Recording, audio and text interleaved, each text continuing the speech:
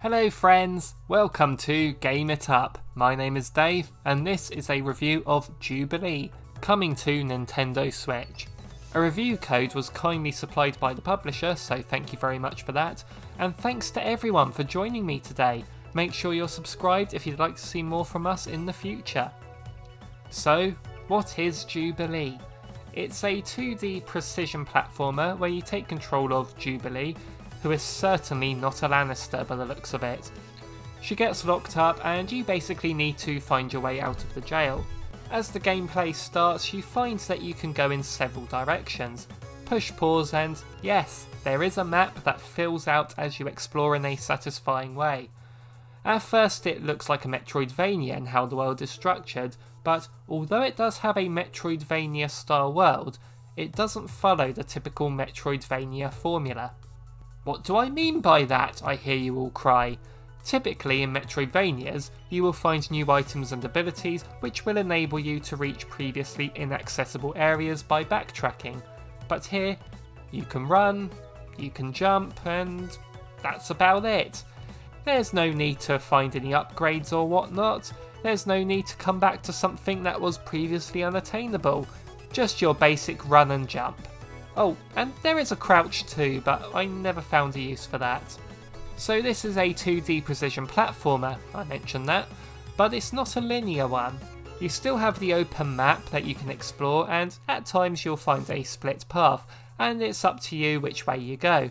The world is interconnected and can sometimes loop back to where you've been before, but getting lost or confused was never an issue for me. It was pretty easy to see that I was heading somewhere new just by checking the map. But what wasn't pretty easy is the gameplay itself. Like I said, it's a precision platformer, which means the areas you need to cross can be devilishly difficult at times. You will have obstacles such as buzzsaws or giant ants in your way, and it is one hit kill at all times. Luckily, there are checkpoints scattered around the place, and the game is quite generous with them, so you never need to keep attempting a section that feels too long to perfect. I mentioned you can only run and jump, but a few moves within that include a wall jump, which works as well as you'd expect, but also pressing jump again in the air gets you some extra air time.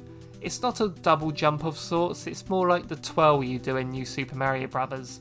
The controls feel really good in this game, and although I have had my fair share of deaths, I never felt like it was the game's fault.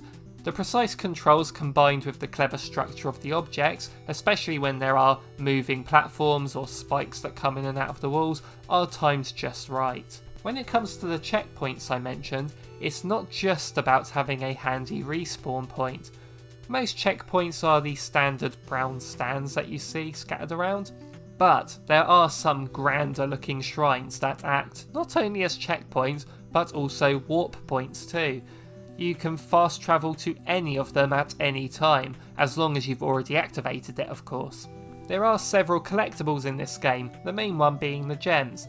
Just a quick look at the inventory will tell you there are 999 gems overall in the game, but at the start an NPC tells you the goal is to get 666, I will keep this spoiler free as to what you get for achieving that. This is where the game really got me hooked though. I love me a collectathon and I love pointless completionist stuff. And what I really love with this sort of thing is a checklist and lo and behold the pause screen tells you how many gems there are in each area of the game and how many you've got. All colour coded as well. Collecting the gems isn't enough though. At the top it tells you how many you're holding and how many are banked. So the gems don't count as collected until you bank them by reaching a checkpoint.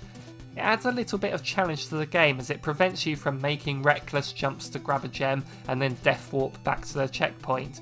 Nope, you need to grab these gems while doing the stage properly and either go back to return them to the previous checkpoint for safety or power through. You also lose the gems if you warp before reaching a checkpoint.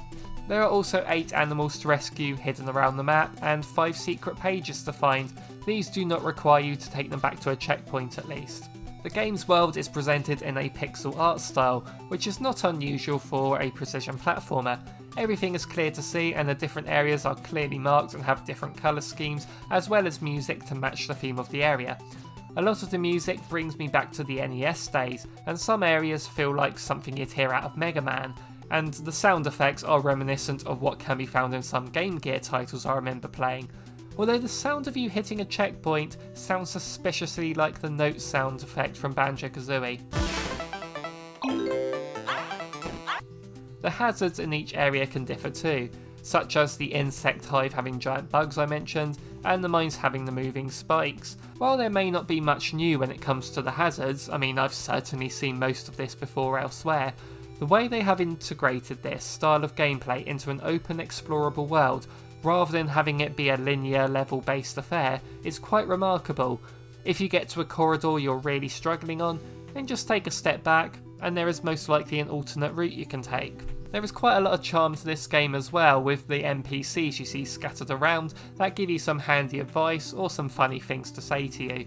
Achieving the initial goal of escaping didn't take me too long, a little bit over an hour in fact, but I hadn't fully completed it, as I still had some animals to rescue and gems to find.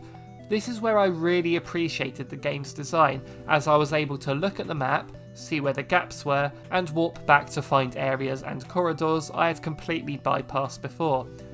And using that checklist to see where I'd missed some gems was really helpful.